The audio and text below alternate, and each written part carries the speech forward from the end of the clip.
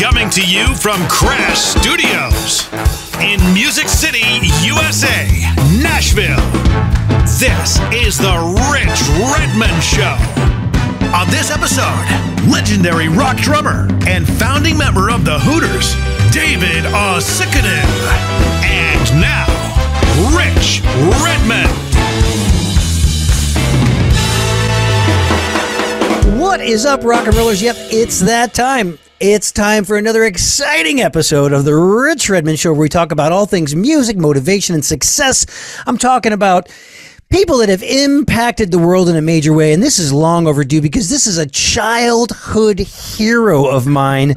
Um, this gentleman is a founding member of Philly's own The Hooters and, a, and a pop rock band that he's been playing with for over four decades. You know them from their songs Day by Day and We Danced, All You Zombies. They had this pretty cool little record in 1985 called Nervous Night, sold millions of copies. And of course, today's guest, our friend David Uosikkinen. What's up, buddy? You're speaking Finnish. I love it. I'm yeah.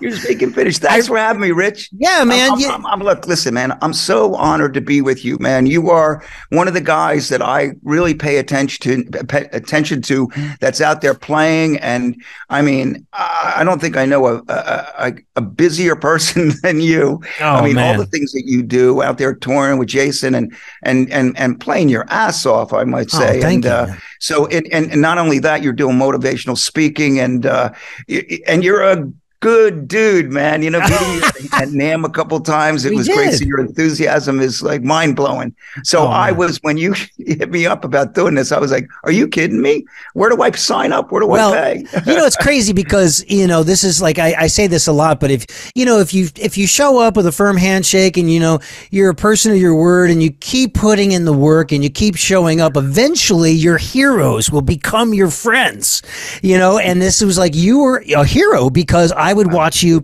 as a child of mtv um you know the hooters was born in in uh, 1980 the you guys birthed Yeah. the band. Yeah. and of course you had this amazing um platform called MTV, you know, Nina Blackwood, JJ Jackson, Martha Quinn. I'm sure you got to meet all these folks. And I would watch you on Live Aid and Amnesty International. And I would look at these, the audiences and how they were reacting to your very musical, very physical drumming. And I was like, man, I don't know how to do that. I want to do that. Cause, cause, you know, I was, you know, practicing the rudiments and I was in the school band, but I was like, how, what's the journey from learning a paradiddle to playing Live Aid? You Yeah. know what I mean? So Yeah. you were a big, big Yeah. hero, and the fact that we're spending this time together is a really cool thing, man.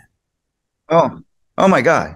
I, I don't even know what to say to that. You know, I mean, I, when you say the word hero, I mean, you did, we, we chatted about that El Paso show.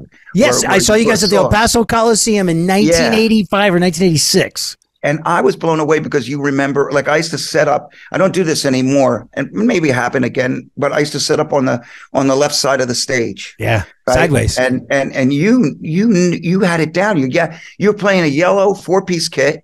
You had you, you had my cymbal set up down, Yep. and you knew it all. And it was like, wow, this guy either does his homework, but you were zeroed in. And uh, I remember that show. I remember we, we we didn't always do the song, all the songs from Nervous Night, but we played "Don't Take My Car Out Tonight." That we played that song, which was, you know, the record company was like, you know, that's going to be a single, which it never was, but we would put it in the set once in a while. But you know, it had this intro, tap boom boom, tap boom boom, tap boom boom, and it dug into it. You know, yeah, but I remember seeing you play, and man, you said physical. I mean, you you you lay into it, and you you every little emotion musically you could see. And and listen, you know, I- I- music. You know, if you're not passionate about doing it, you know, why do it? You know, Right. And you watching you do that thing, your whole body is into it. You know, and I I love watching drummers like that. I. You, you mentioned Amnesty International. I mean, as a drummer, you know, they were great drummers. I remember hanging out with Steve Jordan there and some, you know, guys that I loved. But I, I, I remember Peter Gabriel played that show, and I was Yeah. on the side of the stage, and and Manu Katché was playing drums, and he was he came out and he was playing this really. I remember he had hot rods, right? At, at, at Giant Stadium, and he played these really skinny sticks. He was playing, and he started playing uh, Red Rain, you know, that song Red Rain, and the way he was just really fluent around the kit, like just you know, almost like he was on uh, like floating on the kit. Yeah. You do that too when you play. Oh, man. You're like have that motion. You know, it's like a whole body experience. Body. Well, well, you too. I mean, that's- spiritual, man. You, you're you've got a very like back in the day, like you, you must love the color yellow. That must be your favorite color, right? Because well, I love Tony Williams. Rest in peace. Yeah. The great jazz drummer Tony Williams was always my when I was a kid. I remember it was I, I um I remember driving. I lived in I grew up in Philadelphia, outside of Philadelphia. And I I would drive up to New York, either Manny's or Alex's music. And I, I remember buying a Gretsch, a yellow Gretsch drum set. And uh, I, I had to have yellow because of Tony. You know, I just I, I loved him so much, and I just saw him play at Temple with uh, with uh, uh, Wayne Shorter and and Herbie Hancock and Ron Carter, VSOP. I think that was the name of the band, and and I had to have that drum set. Except I couldn't get the three floor toms; it was yellow. You know, and so for a long time, then when I first got my first deal with drums, Tama uh, said, "Hey, listen, we'll, we'll make we'll, we'll give you drums," and they said, "We'll even paint them the color that you you want." And I went, "Oh." Paint them yellow. Yeah. You know? no, those drums had a yellow car. lot of they had a lot of snap and a lot of Yeah. a lot of attack, and we were both DW artists. And I, and what, like I said last night, I went down a rabbit hole for about three hours. I watched every live Hooter video on the internet. oh, for you know, So you from- watch me rush.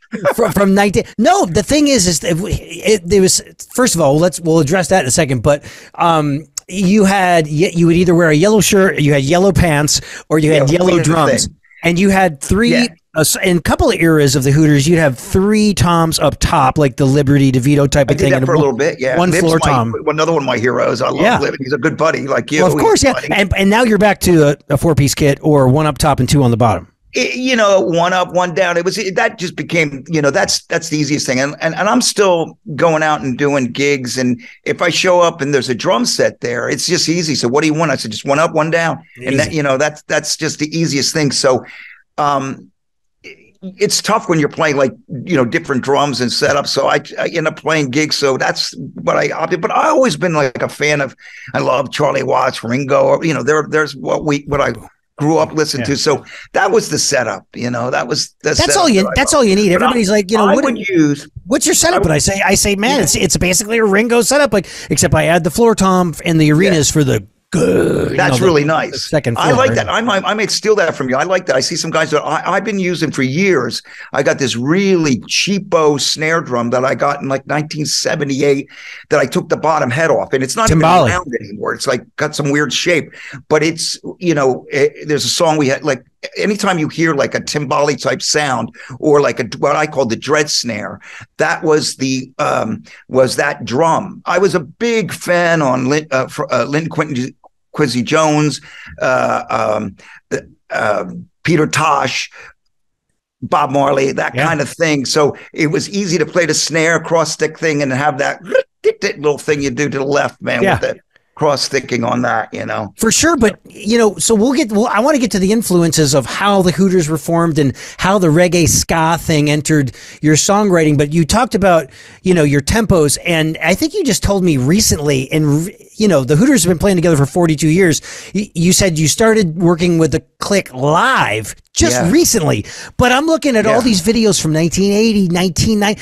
You are solid as Thank a you. rock, and you guys are on. You guys are probably on wedges, right? I mean, you're on wedges a lot. Well, I'm glad you brought that up because you know it's funny. Uh, uh, my friend Ben Newberry, who, who works for Bruce Springsteen, he does uh, Little Steven and Garry Tallent. I, I never knew. I just assumed that Bruce was out using uh, in ears. Ears. They don't use okay, only a few of them. Max uses them.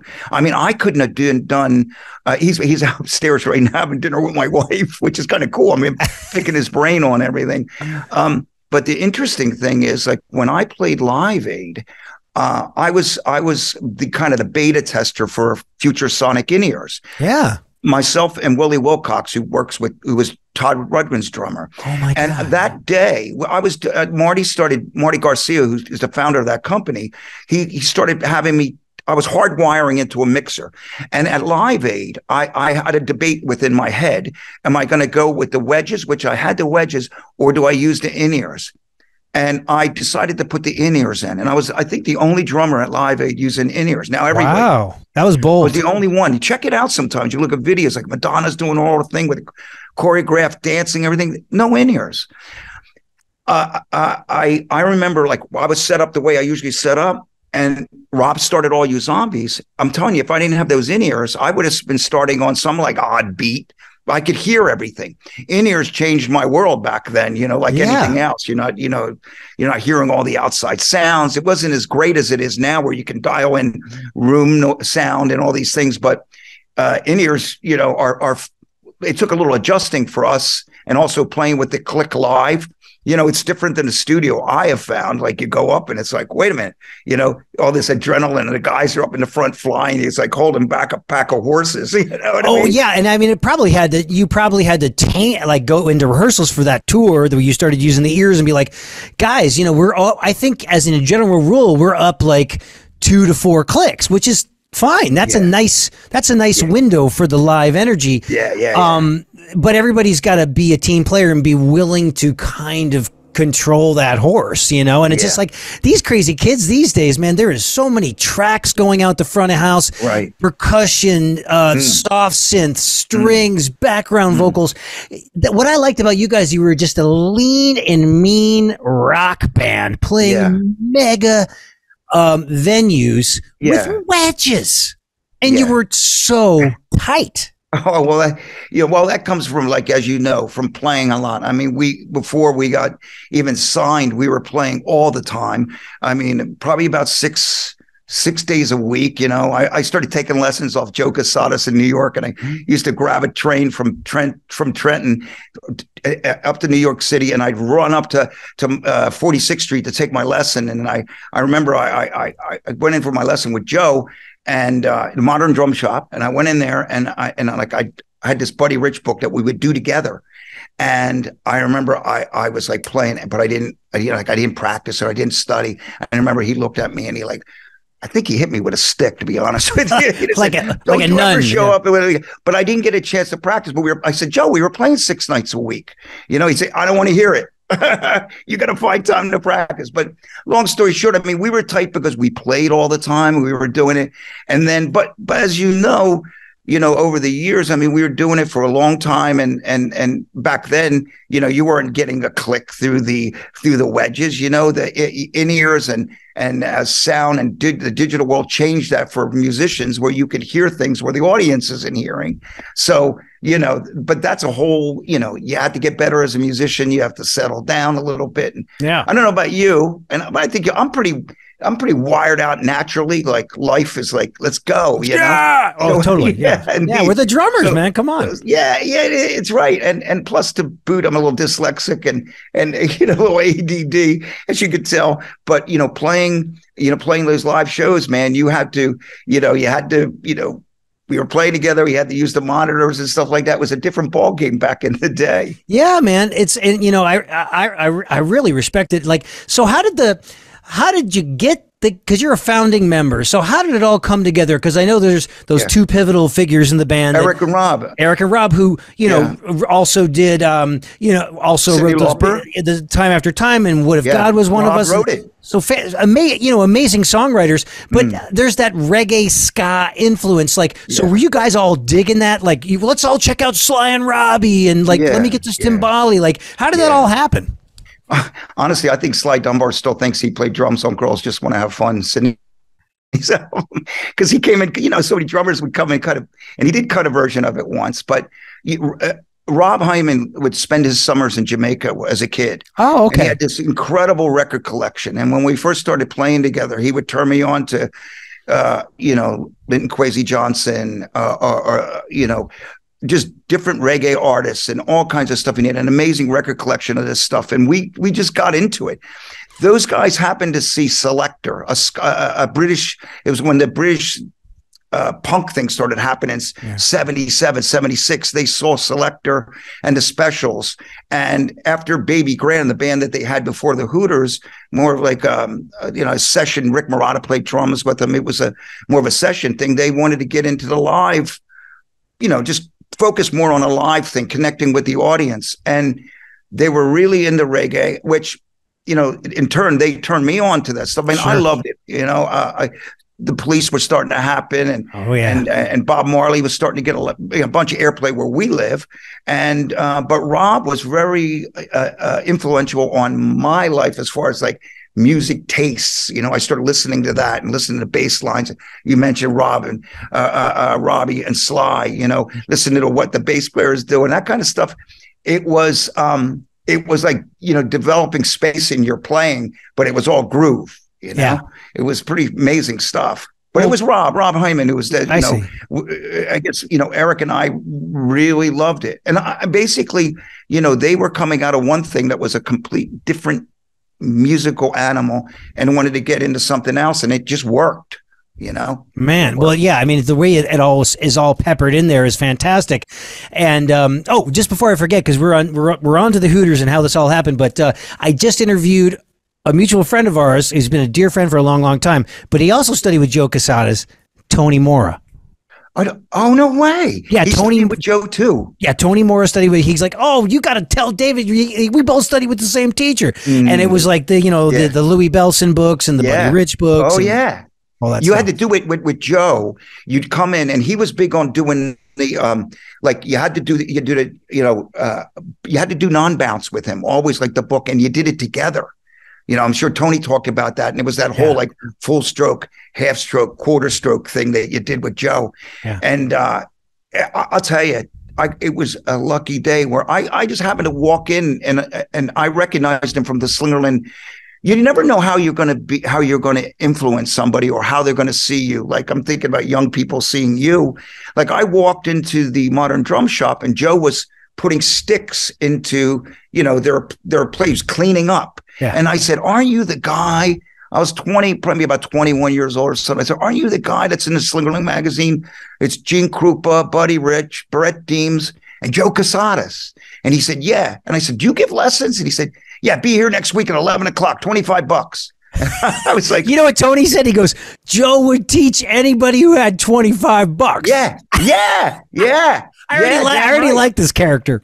Oh, dude. And oh my God, he was amazing. Well, and it's funny. Uh, uh, my wife and I had dinner with Joe. It would go about about ten years ago. My wife surprised me with a uh, surprise lunch. Joe and his wife Kathy met met me and my wife at at a at a hotel in in in uh, in New York, and we had dinner. And Joe was eighty eight at the time, and he gave me a hug and he goes, "Dave, I'm eighty eight and I don't take a pill."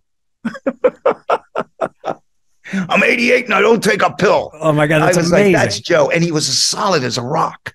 Yeah. You know, you, you, it's just amazing. I mean, you could put there's a video on YouTube of Joe Cusatis playing a solo. I forget who he's playing with, but, but he, he he's just so remarkable how he does that.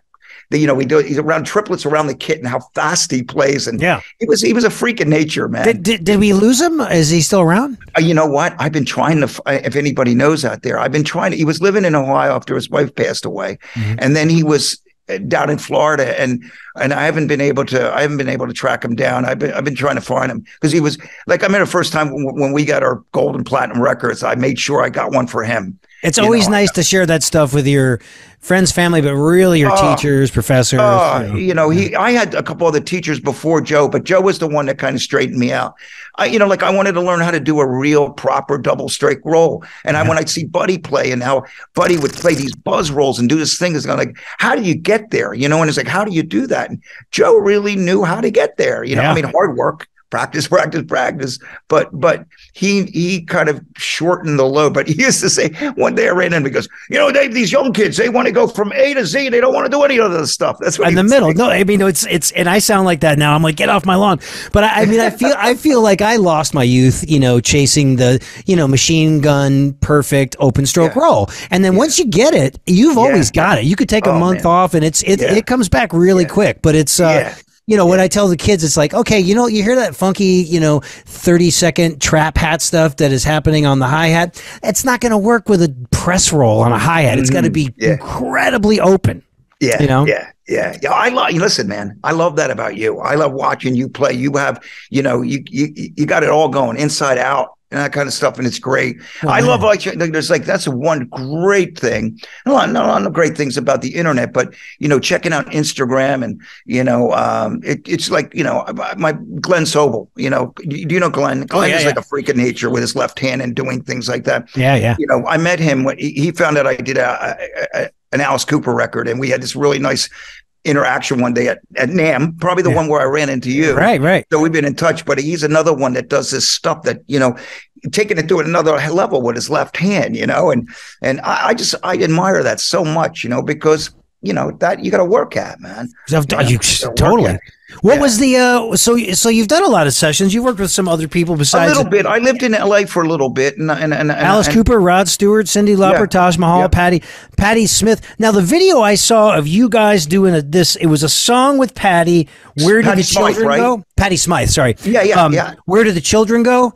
Oh, Oh, yeah. So, It- so dude, you are so sassy and freaking su- but Yeah. How do you not love her? Oh, what am I playing? Oh, Dad, her voice is incredible. It's it's Oh, like no. the soulful version of a man gargling with razor blades. she sounds Hey, man. great. Yeah. You, you listen, that they were great times. That that was I remember that was a Thanksgiving show we did in our hometown. You know, when you come to your hometown, all your friends come and you want to play great. Remember our lighting rig, half of it went down. We kept on playing. It was like this MTV concert. And Patty, who was well, Patty lives in New York, and you know, her husband's John McEnroe, and she's, you know, she's still making music and doing an amazing artist, great voice. She back then, you know, she she spent some time in Philadelphia, and she was produced by Rick Chertoff, our, our producer. So Yeah. um, when we had, when we had this song, when Eric and Rob had uh, "Where Do the Children Go," she was like the obvious person to come in and sing it at the end, and man, she ripped it up. I mean, anything she does, she's. I used her on my In the Pocket project. I had her sing uh, "Expressway" and "Expressway to Your Heart," and Yeah. you know, she's just like. Just is so much soul in that in that so voice. soulful. Yeah, oh my god, I love the band Scandal. I I really Oh enjoyed my that. band. Great! Tommy Price, come on, man. Yeah, yeah. You know, Tommy Price playing drums. Tommy was just some of the stuff that he would do. You know, I, I, I you know, Keith Keith Mack played in that band, and but I, I you know, I, I love that stuff. You know, so Yeah. it's um, and Patty, that band was terrific, and she she's still great. But we we, we had a great time making that record. And Where Did the Children Go? That show was. It brings back great memories. You know. Oh man, well you I mean you you got a book in you? Are you gonna do the uh you gonna do the book? you know it's really weird right now. And then it's it's a bit humbling because you get stuff like I- i'm i i just company asked me if i would do a, a, a they're doing a little documentary on moi which is kind That's of great. We're, we're yeah we're filming it right you know i they they just and, and and it's not about the hooters. It's just about coming up as a drummer. I talked about the joe stuff and i mean all this stuff early on but yeah, we're kind of in midst. They're gonna they're gonna That's follow me around till September, and uh, we're you know we're going to Europe. Uh, the Hooters will go to Europe, and there's probably some stuff in the states that we'll be doing, and uh, it's it'll be interesting because I've never done anything like that. That's but awesome. a book, uh, Rich, I've been I've been working on something. Are you talking about like a, a writing Like a- music book or a Uh, story book? Like a like a biography, like you know, Kenny did sex, drugs, and rock and roll. You know, yeah, yeah, yeah. Well, listen, you know, I, I, I, you know, the weird thing is you can't tell my story. Like I had a, a, re- a, period of life where I had went through some struggles with drugs and alcohol, and I got through that. A survivor from that, you know. Nice. And sometimes, you know, publishers or whether they want to get into what's like the dirt, but you know, like part they of want that they want the just- bad stuff, get the sensationalism. yeah, yeah, you know, and and I want to be like, you know, I not that I don't want, I don't want to, I don't want to avoid it, I, and but I want, I want to talk about it and encourage people that listen, man, there's there's a way out, but um, but yeah, that book at some point I've been working on for a long time. It's just like I have to finish it, and I've had a buddy of mine who's a writer helping me organize some things that obviously I need, Right. and uh, maybe someday, you know, it's something I'm I'm I'm constantly. I don't know if you noticed, but like two months ago, I had to have my gallbladder removed. Which I didn't. really. Oh God. oh, it was horrible. It was horrible. I played a weekend gig. I played New Year's Eve with Annabella from Bow Wow Wow. I don't know if you know Bow Oh, Wow Wow. yeah, Like, dude. And I was like, for for the last few years, I was thinking that I had some sort of, you know, I was just allergic to certain foods and whatever. And I got really, really sick. And it culminated in, you know, a weekend of hell. And uh, I ended up being rushed to the emergency, and they took a, a bag full of stones out of my body, and seven of the stones were stuck in my bile duct. So I had a three-hour surgery where they're picking it out. Unfortunately, they didn't have to cut me open too much, but um, you know, recovering from that has been been Damn. like you know, I feel good now. I did a session today. I feel feel great. Oh, thank God. Well, what, But- what does the tell you, gallbladder man. do, man? What is it like? What is it? What the heck does that thing do? Do we need it? No, you don't freaking need it. It's just this you know, weird thing I that we have. A buddy of mine, he said, "Listen, Dave," he said, "Why the hell they don't just take that out of you the first time? You know, come on, eh, gallbladder out, appendix out. You know what I mean? It just caused problems. You know, so Yeah. I don't know why I got off on that, and I apologize. No, but- I, think you know this is the it, you know it was we're it was it was two months ago, and I feel great. But it was really the hardest thing that I ever been through ever physically. It, it, it sucked. The first, you know, I lost like 19 pounds afterwards. and, wow. you know, it, it, it was rough. Thank God we got people that uh, love being a surgeon as much as we love drumming. Oh yeah. You know, you have somebody that was like, I'm going to make you well, and they do it. So remarkable. Hats off to the medical people. Oh my God! Of course, my everybody in my family is either a doctor or a nurse or works in hospitals. Yeah. my, my mom was you got a a nurse. lovely or, family, by the way. 40 well, thank know? you. Forty-five I, I- years. You know, I see your posts of your mom and dad, just the way you are with your family. Uh, You know, I, I was like, you know, my rest in peace, my mom and dad have passed away, but they used to come to shows. And when I saw you with your parents, your, your mom was like, she reminds me of my mom. The way my mom used to go, she, my mom used to do the laundry for the band. Oh my God! Well, my mom would cook for the band. You know, she's Ah, like yes, she's like that's great. Italian. You know, but it's like I, you know, man, I, I, I, I feel like I'm so fortunate to be at this age and have parents that are, you know, 75 and 77. I'm Right not on. looking forward to the Yeah. the the bad day. I'm not looking forward to that at all. Listen, you know, it, it, and and thank goodness that you know we have family and, and parents that really supported our dreams. You Yes. know? Oh, I mean, 100%. that, was like you know, uh, I I know there were some, some points my dad used to go. Yeah, you're spending way too much time in that bar, you know. But at some time, you know. But then I, I remember when he went, ah, that's a double platinum. That's a, you know what I mean? he liked when there were Two million records. Yeah, they like when that happens. It worked, yeah. it worked out. Knock on wood, you know. But Yeah. um, you know, you need the, the, the they were very encouraging, and I still remember, you know, tell my folks that like, you know, what are you gonna do? I'm going to play the drums. Really? yeah, that's it. What did, what did they do? What did your folks do? My father was a construction worker. You know, my dad, he's a remarkable guy. And I think probably my tenaciousness about life in general came from really my father came over from Finland in 1953. It came over, uh, my mother sent for my mother a year later. And, uh, my father was just like, you know, putting roofs on houses, putting, putting siding on houses. And, you know, he, he, he you know, he, in Finland, you know, he, he I think it was 13. He quit school and he was fighting the Russians, you know? It was like crazy stuff. And I remember he had to go back. He got like what is equivalent of what a, a Purple Heart is in Finland, but he went back to get that. And, uh, you know, he, you know, he did well for himself. You know, somehow he ended up retiring out of the Carpenters Union. And, mm-hmm. you know, my mother was a, you know, what they call homemaker back in the day. You Yeah. know, I don't know if that's, Just you know, politically Well, correct. we can't anymore, but- anything anymore. Just go ahead. and But no, I you- know, dude. It's crazy. No, I mean, but they it- were just the, the salt of the earth. just My father and mother, when they moved down to Florida, I used to kid my father lived in Venice. He used to call him the mayor of Venice. You know, he's riding his bike.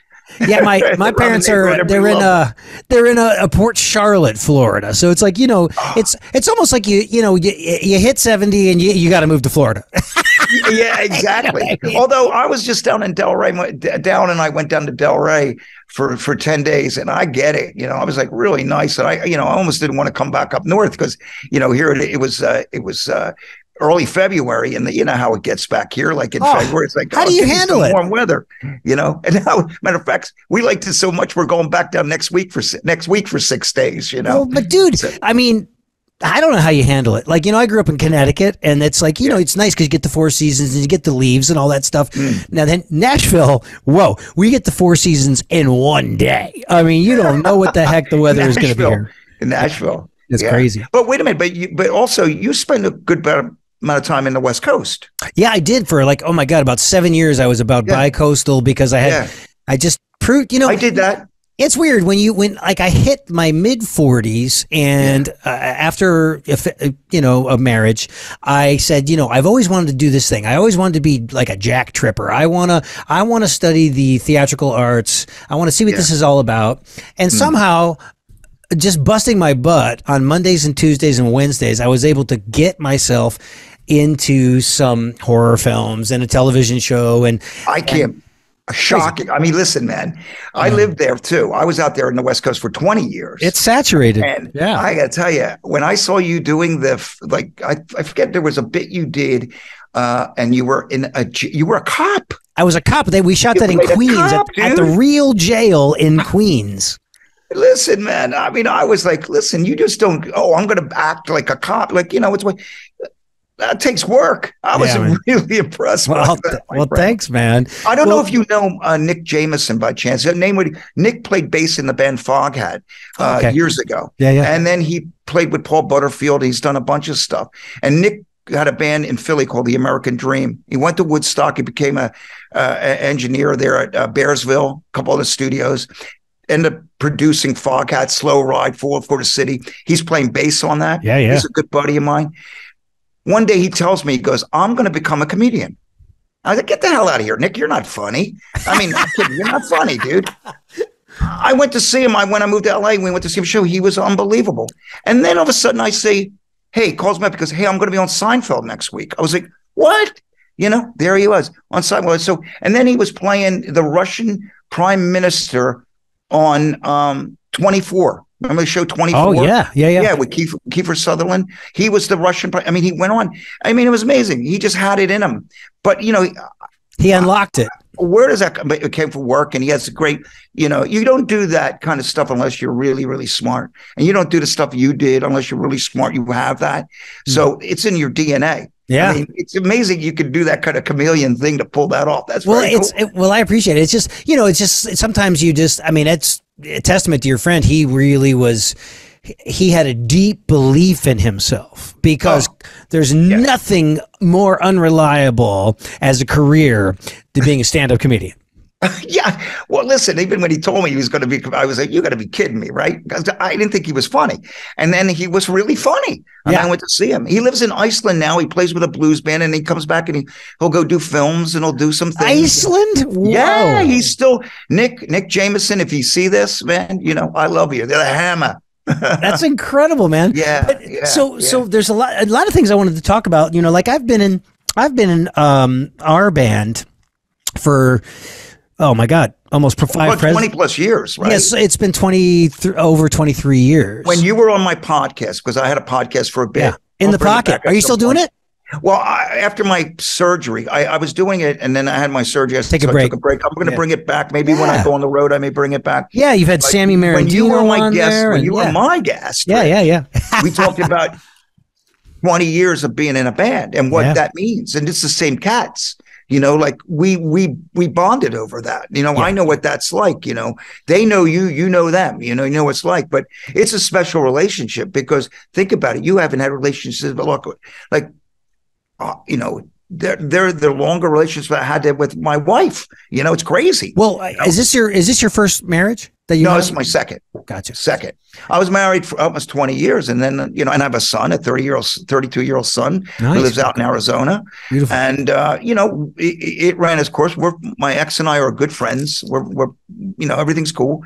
I it's funny. I end up marrying my wife. We've been friends since 1982, and then you know she went through a divorce. I went through a divorce, and and we end up finding each other. We'd kid people. No one else would have us. So we, but she's the love of my life, and and and we have a good time, and and um, you know, it's I'm very I feel really lucky, probably like you, because Yeah. I you know I see what you got going on there. Yeah, too, yeah, bro. man. Well, I mean, it's it's it's it's a definitely a crazy. The fact that you can be with people traveling the world, those same people, and have Yes. this unspoken language. I mean, you know, I I don't even. You guys don't have to do this anymore. The thing is, you just keep showing up. You're on year 42, and when I look at you guys on stage, Yeah. it seems like you're loving every last second. I mean, it gets know- more precious. It really gets more Yeah. precious. I know, like, listen, you know, the one thing that happened this year is having that, and I had a little more mortality moment, and everything that I do, like even today, I had a session I recorded for this young cat, J- Jay Byham. He's really good, and and it just means more. Not that it mean a lot back then, but now it's like every moment, like going out on the road with those guys. Like really, the, you know, yeah, I'm 67. It's like, you know, it's a, you know, it, it at, at, some point, I mean, I'd like to do it as long as I can do it, physically yeah. can do it, but, but it means, I honestly feel like it means more to me now than it ever did. Yeah. You know? Yeah, it's incredible. I mean, because touring internationally, you know, you, touring internationally, man, you guys have, you know, it just takes a lot of effort. You're flying over there, and then yeah. you maybe you hook up on a bus with the trailer, and then you're going. Yeah. Maybe you're doing the bus thing, or it's even yeah. harder when you're I can't flying to, to every country. You know, oh, jeez, fly. I hate. Listen, like Mickey, our buddy Mickey Carey, he won't fly anymore. He hates it. He's oh, like, oh, really? Security. Mickey hates it, hates it. And I won't like flying because hey, it's a plane like that, that ruined a lot. It was like not ruined careers, but careers that like I'm not doing that anymore. Like I, I, I, I, I'll, you know, of course I got to fly because I'm going to Europe, but it's not. You know what I mean? It used to, do you remember when it used to be like, I'm flying, it's cool. I'm gonna, you know, get in business class, cool. Nowadays it's like, oh my god, just get me there. Security is just it's it's, it's ridiculous. Well, so and, being in a tour bus, you know, getting your own little little space in I love there, my bunk got the USB bunk, you got your little fan. Is it incredible? People that are like, how can you have, you know, rode around sleeping in this coffin for 27 years? I'm like, dude, I love it. I love it. I'm, I'm with you, bro. I, my best sleep is when I put my my max in my ears and I'm in that bus, I'm like in my cocoon. Nothing better, it's, man. It's amazing. It, it Nothing really is better, man. I mean, I look I look forward to that kind of sleep because hear the humming of the bus. Mm. Yep. You understand why Dylan does it so much, you know? Bob Dylan, he's like, you know, keep keep me on that bus. Bro. And Willie, and Willie, you know what I mean? It's like, yeah, you know, they just, it, and then you wake up in the morning and the coffee's brewing and everybody yeah. can kind of grab their coffee and kibitz and catch up with a little news. What's going on today? What are you, what are you doing today? And, yeah. um, you know, my band plays pickleball. I go to the gym. Yeah, you do? Or, or, I have never played yet, but I'm like, you know, I, am a little ah. bit of a jock. So I, I, I, I well, I'm, dude, cause I'd look back at these videos when you were doing live aid and stuff and you always were, you always had these muscle shirts and were just jacked, dude. And a lot of hairspray, man. You guys had, serious, you guys kept like Aquanet in business, you know? man, you know? A lot of awkward days. Hey, Rich, I didn't even know what color my hair was for a long time. It was like back in that in those days. It's like you know, everybody's like coloring and everything, and I was I was going with it, man. It was like, why not? You know, I mean, now there's some photos that I see and I go, oh my god, what was I thinking? You know, but you know, that was the day, and it's showbiz, man. You do yeah. what you got to do. You know, totally. It, it, it, it, they're amazing times, you know. So they, I look back on those days like they, there was nothing better, nothing, yeah. nothing better. Well, you guys were going to do a, a, I believe, a 40th anniversary tour, and then the COVID hit, right? Yes, yes. So, so like every year we'll, we'll spend like we'll go to Europe. We'll do six six weeks, and then we do some shows there's talk that we will do, you know, and and it's you know because I'm not privy to say, but I'm pretty sure that maybe people will be able to see us around the United States this year. I hope it's this thing happens which would be great. You know, like I said, I'd love to be able to invite you to a show. You got to tell know, me off camera. Whatever city you're playing, and he's off night. Come on. Well, because I feel like you know what the answer is. You just can't announce it right now. So, so. I can't because there's some details that still have to be finished, but uh, we're getting. But I'm at the point where I like I'm hiring a tech, so we'll see. nice. And yeah. so, uh, when you go to Europe, do you get to use the same kit, or do you have backline every night? Uh, well, we have. I have this DW kit that I that's that's at. Um, show to show all access uh, cartage. The, uh, uh, Rolf uh, is, keeps my keeps the kit there. It's his kit, and it, but I've been playing it for twenty years. Gotcha. It's a DW kit, and he's been amazing. He said, "What should I get, Dave? Oh, you know that Porter and Davies, get that."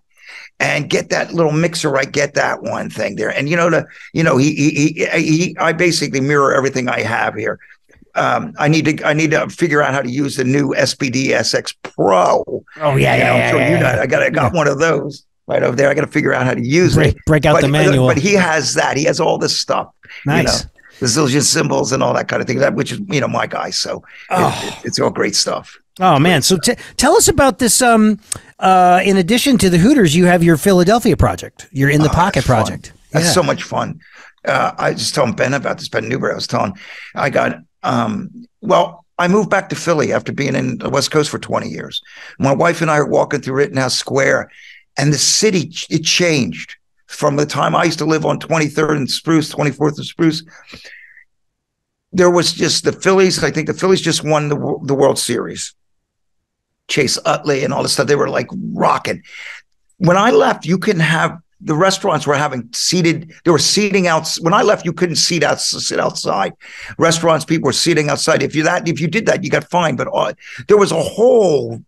There was just the city was just amazing, you know. Yeah, yeah.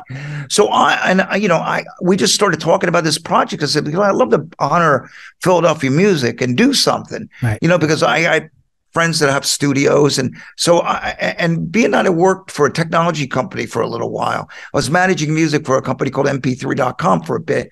And I got hip to doing some things that like I never would have learned unless I worked at a company like that, you know, to work in that situation understanding, but I wanted to record songs honoring Philadelphia songs or something that you know the song had something to do with Philadelphia. Like Young American we cut Young Americans to David David Bowie did the song at uh, Sigma on 11th and on 11th Street in the city, Sigma Sound. So I just grabbed some of the musicians that I truly love that have done stuff in Philly that I always want to work with, and we we record the song, we work it out that they together, together, you know, like back in the old days, like a stack session, Sure. and then um, we would do a video and we'd talk about the history of the song. It was like an educational thing like that. So I started. I think I, I I- you know, I started like I think uh, 2010 or something. So it's been going for a bit, you know. Yeah. And you know, I did Backstabbers, Disco Inferno. Um, I've used the Soul Survivors, Richie and Charlie from you know Expressway to Your Heart, Jeffrey Gaines, Ben Arnold, Patty Smyth. Yeah. Philadelphia people doing this thing, and sometimes I get guests to join it. But that's been a fun thing, and it just keeps rolling. People love it. You know, like I always say, if we play a local club, I get 400 people there. That's great. Oh my god, it's always good to have your own thing on the side. You know. Yeah, you- oh, you know, absolutely, absolutely. I'm looking for something fun. My for I'm my surprised that you don't have like 10 bands going on the way you are. yeah, it's you know, it's just so hard to like um, you know, do the road, do the sessions in two cities, do Listen, the Rich, teaching. Oh, you're gosh. doing plenty, bro.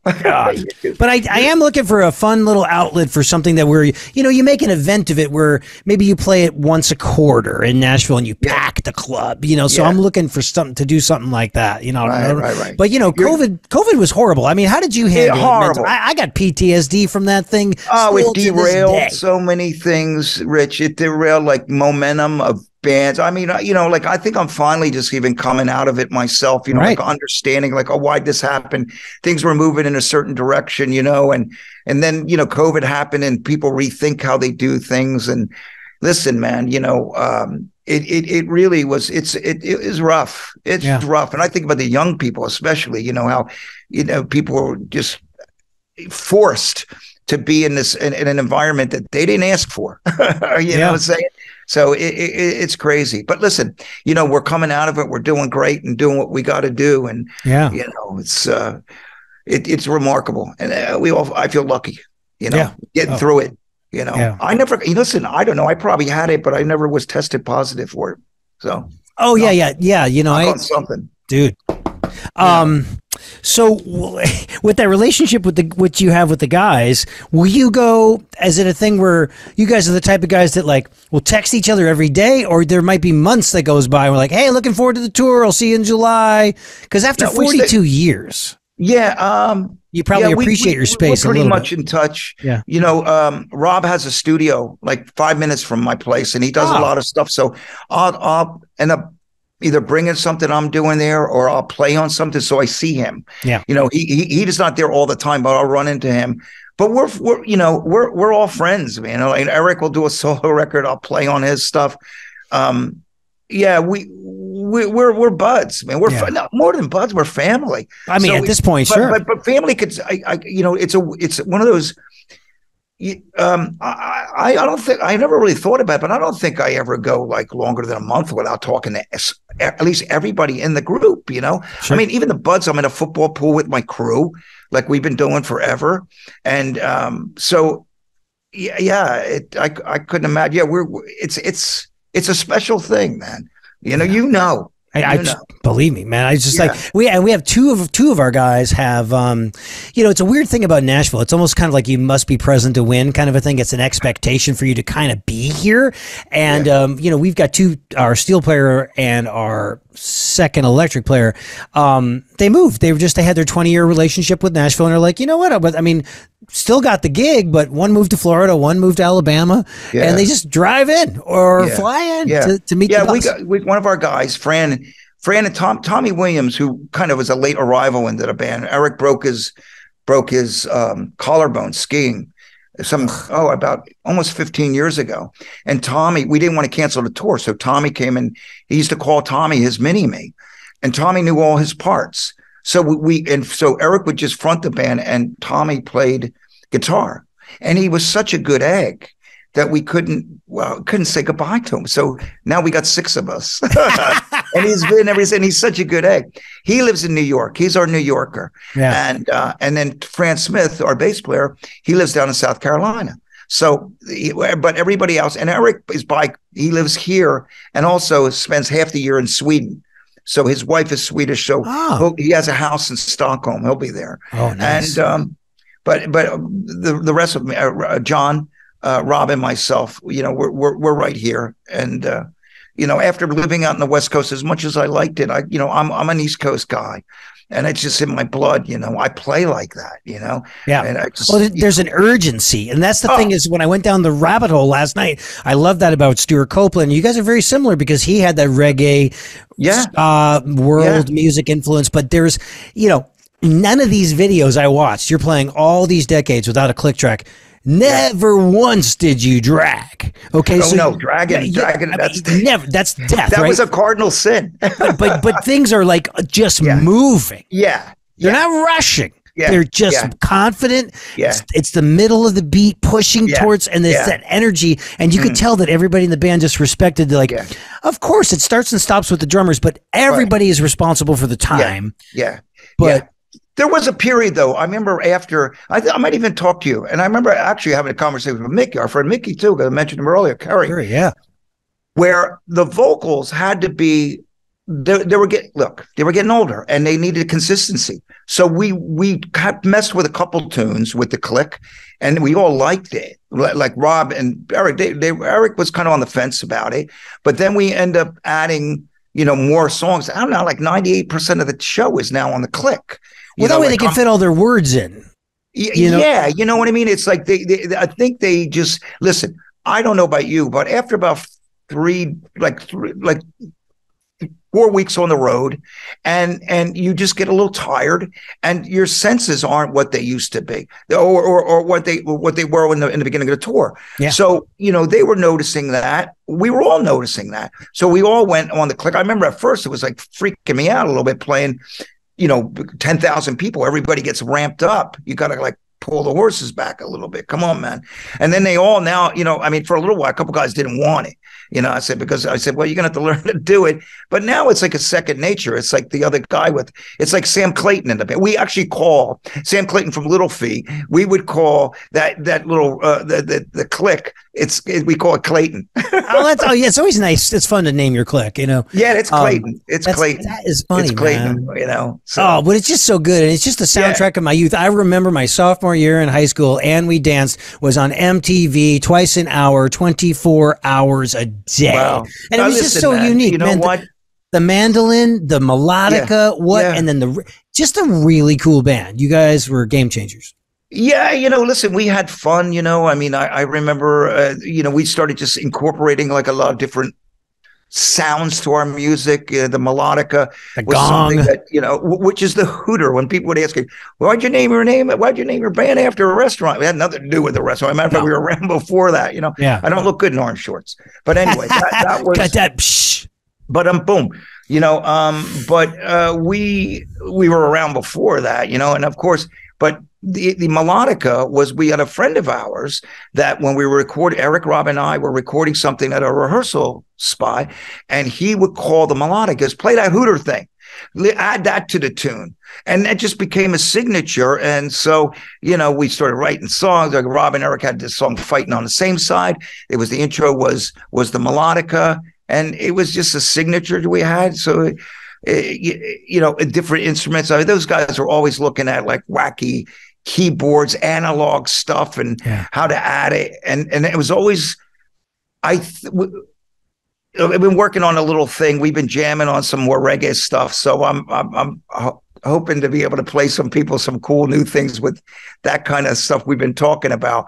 Yeah. Um, but I'm I'm just excited about the future with the band, which is kind of weird after 43 years. Well, because a lot of times people just get stuck into a thing. It's like, all right, people go see the shows. They want to hear the hits. And you're like, here's a new yeah. one uh, off of our new record. Everybody goes to the bathroom. But it's yes. like, you know, you are pushing the envelope. You guys are wanting to create new stuff. And man, you yeah. really, and you got, you help my playing, man. The mark of a, of a good drummer is to be able, eh, able to get a consistent cross stick. And yeah. Hey, you're, yeah. I would play that. I would practice with that, man. Yeah. You know? Wow. Yeah. Yeah. Well, I know you're good at it. I know you're really great at it because I saw you do it. And it's like, yeah, I I, I love that thing. You know, it's uh, uh you know, I, I can't get enough of it. You know, you mentioned Stewart Copeland, a beautiful, you know, great cross stick. You hear Porcaro, the stuff he would do back in the day, even just you'd play playing just a shuffle, and then he would do a cross stick. It was like, oh my god, human touch. Yes. You track human touch. You hear that, like the stuff he does ridiculous. You know, I mean, yeah. it's amazing. There's so many remarkable, incredibly gifted musical drummers that you could like. That's the great thing about the internet. You could see these guys that are just wow. Yeah. You know, YouTube University, think? man. You know, it's like a, yeah. People yeah. ask me all the time, "Hey, should I send my daughter or son to like?" It's like you know, you know, if you can afford it, you know, it's four years. They're going to have a deep, you know, focus. But then a lot of people they want to learn a skill. It's like how to. You type in how to how to fix something at your house, and sixty videos come up. You know yeah, I mean? I mean, and that I guess you know. uh yeah, it's it's a shame there um, somebody that like you need a tastemaker to tell you this is what you ought to watch. You know, yeah, hey, yeah. You, you, know, you're you. I wanted to mention a drummer that I love down in Nashville, Greg Morrow. Oh, wonderful! You know, when we did we did a record in Memphis, and I didn't even know I didn't know who he was. He was friends with Joe Hardy, and I needed a drum set. Yeah. And he said, "My buddy Greg will will get his drum set." And you know, he came in. It couldn't have been the nice, the nicest guy on the planet. So he gave me. I remember I used his DW kit and I used a couple of his snare drums. And then I saw him play and heard him play. I was like, oh my God. So solid. I mean, ah, ridiculous, you know. So I solid mean, musical. No, he's another He's the one of the staples of our of our scene, yeah. and uh, I think I did a I did a feature article on him in Modern Drummer in like 2015, wow. 2014, 15. He goes, yeah. he, he's so humble. He said, "Who who's going to read this?" And I said, millions of drummers. Yeah. And he goes, what? I'm yeah. like me? Aw shucks. You know, he's that guy. But that's part of his charm is that he yeah. he's a vicious beast of a musician, drummer, yeah. but he's a he's a just a aw shucks guy, you know. I know, I know. That's what struck me. I was like, he was just the nicest cat. And I and I and I, I didn't realize at the time. I was this is this is 1990. He was still living in Memphis at the right. time. Yeah. So it was 90, 91, 92. And he, you know, but again, you know, it just only go figure, you know, he went down there and he, just played on everything. He sure know? did. No, no, it blossomed. It was like one phone call and it led to another yeah. thing. And now yeah. he's, a, he's a staple of this scene, man. It's really, really yeah. incredible. Hey, so you're, you're a, uh, a big, a big sports fan. You know who I had on my podcast? The original Phillies fanatic, Dave Raymond. He was the guy David. that. I know him. Right. So yes. he, he was like on an early episode of the podcast, and now he's taken his adventures as being a mascot and is a is a motivational speaker. Get out! I didn't crazy? know that about him. I, I, haven't seen him in ages, but I I remember when he was the Phillie Phanatic. Yeah, you, you, you gotta re, you gotta. I'll connect you guys. Please, please. I love that. You guys can go have a, a, like. So where do you go? Are you like a, a cheesesteak guy? Uh, yeah, yeah. I might listen, man. You get a great cheesesteak. Uh, there's a place called in Concha. There's a place in Roxborough called Barry's Rock and Cheesesteak. Everybody goes Dalessandro's. Uh, it's okay. It's good. It's good cheesesteak. Yeah. Jim's, Pat's, Geno's. But my favorite, I love Barry's cheesesteak. And I'll tell you, there's a place called the White House in Atlantic City that you get like an, uh, they, and they call it a sub there, but yeah. you get a, a, you know an Italian uh, you get the uh, cheesesteak sub with lettuce and tomato and fried onions. It's add some red peppers. It's your. Oh, I love the red peppers. Off the hook. I don't like the cheese whiz thing. You know. No, no, no, no, no. I'll do. I, I'll do just a little bit, but I, I'll go light cheese too. But but I gotta have a little bit of cheese on it. Yeah. But but but uh, fried onions. That that it's the bread, man. It's like anything else. The bread that they do there. Mm. That's that's that's my. They're my two favorites. You know. Uh, yeah, they're my two favorites. I like that. That's that's uh, Barry's and Roxborough and the White House. You got to go on Atlantic Avenue. You can't go to one in the casino because everybody's trying to like replicate it. Ah. Nah, you got to go to one on Atlantic Avenue.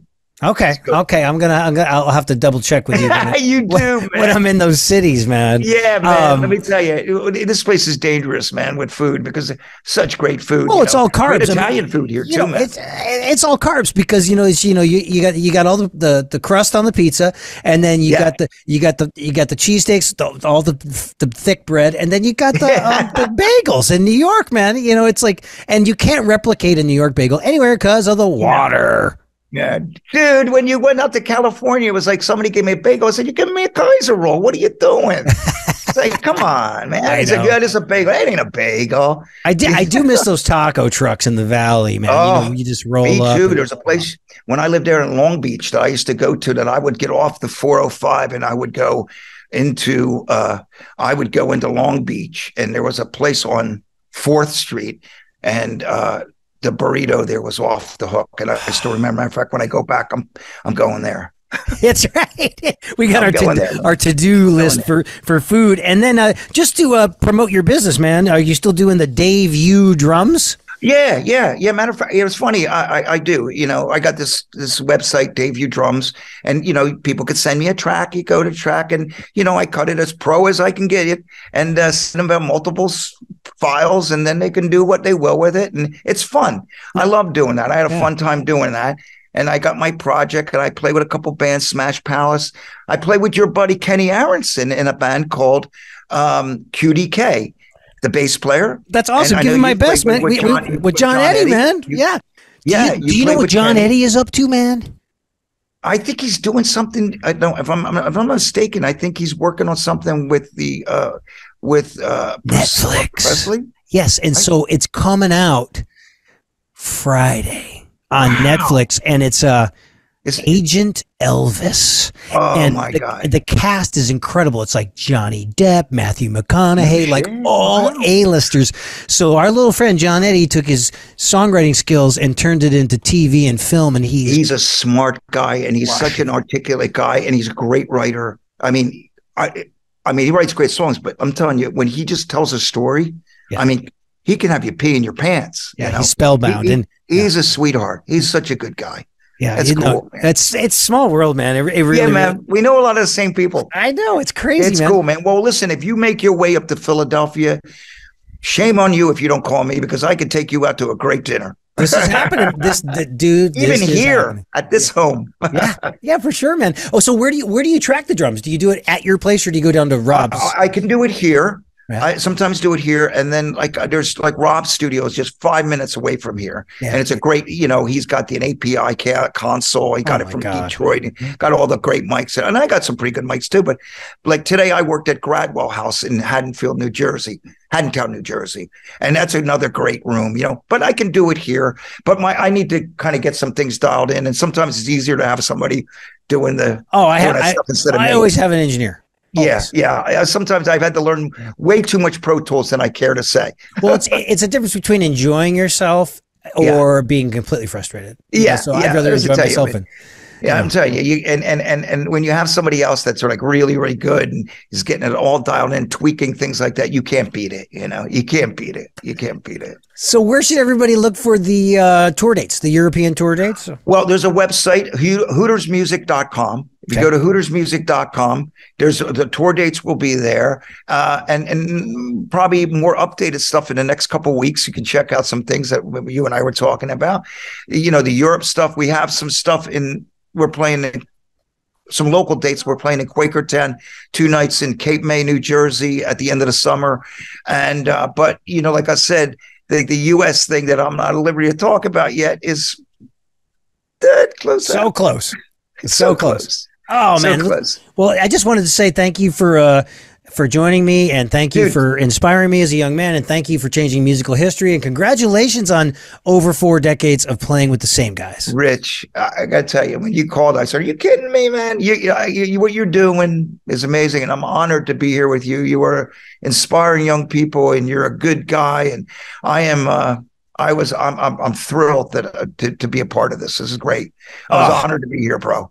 Oh man, it is my pleasure. You got to get up there and uh, finish that dinner with your bride up there, man. I'm gonna get more Bruce stories from from Ben. Oh, for sure, man. And hey, to all the listeners out there, guys, thank you so much for tuning in. Be sure to subscribe, share, rate, and review. It helps people find the show. Leave us a five star rating. If you won't give me a five star rating, tell me why. I'll come do your laundry. I'll cut your grass. I'll do your taxes. I'm looking for a five star rating. And as always, thanks to our friend Jim McCarthy. I usually have a co host, David, Jim McCarthy, Jim McCarthy voiceovers.com. He's a voiceover artist. He'll produce your podcast and he plays drums for fun, which is, hey, he's maybe he's smarter than all of us. He's Yeah, right, right, exactly. Stress free, man. But Yeah, um, baby. but thanks again, David. I really appreciate it, man. Man, pleasure was mine. Thank you so much. It was a blast. God bless, brother. And to all the listeners, we'll see you next time. Thanks so much. This has been The Rich Redmond Show. Subscribe, rate, and follow along at richredmond.com forward slash podcasts.